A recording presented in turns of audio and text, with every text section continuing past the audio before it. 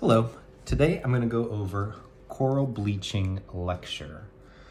So coral bleaching is a certain phenomena that we've seen more and more over the last several years. And there is a link here with climate change. So a nice healthy reef has all of these different colors. The corals are a lot of different colors. Um, some of the colors that you're gonna see are kind of like a dull green. So coral reefs can be found near the surface of the oceans. Healthy corals have a green color, among others, because symbiotic algae or algae live inside of them.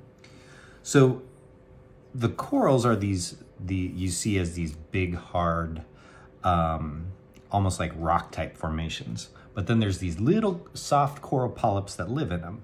Inside the polyps are algae. So two living organisms living together. Uh, the algae go through photosynthesis, making sugars, which are shared with the coral. The coral provides protection and a safe place for the algae. So this is mutually beneficial. The algae make food for the corals to eat, and the corals give it a safe place to live, the algae. All right. So that's normal conditions. Now, we've talked about climate change and the atmosphere heating up, but what we don't talk about as often is the fact that the oceans are also heating up, and this is going to cause problems. Human caused global warming is warming the atmosphere, but is also warming the oceans. Warmer temperatures stress the coral. So as the as the temperature goes up in the ocean, the coral, the polyps start to get stressed out. And there's an interaction that happens when they get stressed out. When ocean temperatures rise, the coral gets stressed and expel the algae, one of their primary food sources.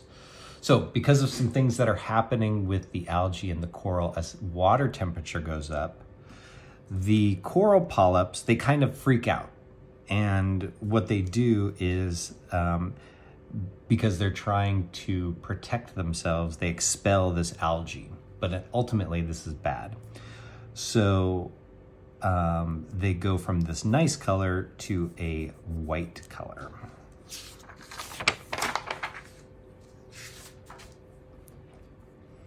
This is a coral that has been bleached. And when we say bleach, we just mean that it's lost its uh, symbiotic algae. Coral that loses its algae is white in appearance. We call this coral bleached. However, the coral is not dead. So, looks like a skeleton. It's not. The coral uh, polyps are still there, the little organisms that make up this um, large coral structure. Um, but they don't have that symbiotic algae that helps them to survive. Uh, and in this picture, what you'll see, what you're looking at is the same coral that we've seen before, but it has all of this like thick plant-like algae growing over the surface. This is bad. Bleached algae is weaker and less likely to survive competition. Turf algae, which we see here, this is the turf algae is this like green and brown algae that grows on top of the coral structure. Turf algae can grow on coral and ultimately kill the coral underneath. Um, so this is just the very basics of coral bleaching.